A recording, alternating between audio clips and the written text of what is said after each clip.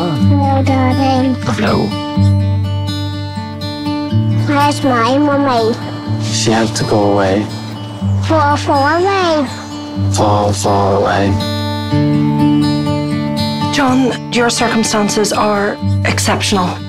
One day, Michael, would you like to live somewhere else? In a different town, different home? I like them. What's a dog, Daddy? When a child cannot be looked after by his daddy, so he can live with two nice new parents. I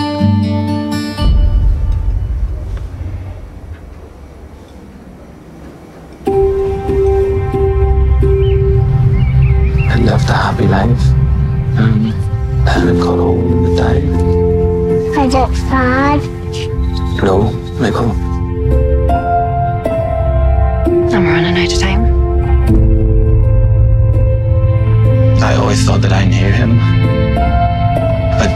I know him enough for this?